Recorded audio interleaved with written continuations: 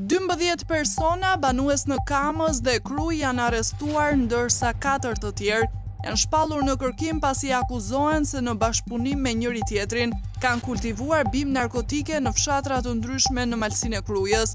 Nga ana e Gjykatës së Shkallës së Parë të Juridiksionit të Përgjithshëm Tiranë, është vendosur masa e sigurimit personal arrest në burg për gjashtëmbëdhjetë shtetas dhe janë vendosur tre vendime për kontrolle banesash për tre shtetas të tjerë.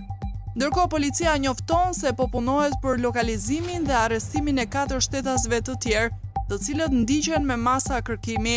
Materialet i kaluan prokurorisë për veprime të mëtejshme hetimore.